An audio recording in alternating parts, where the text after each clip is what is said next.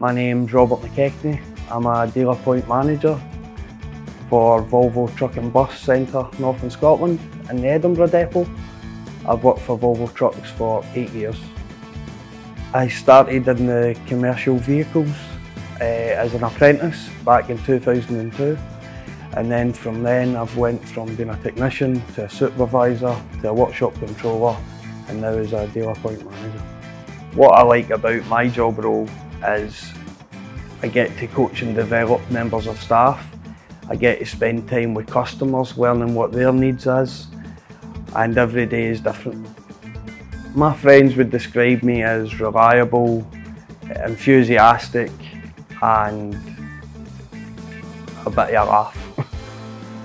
the biggest misconception about the commercial vehicle industry, I think, is it's a big dirty industry.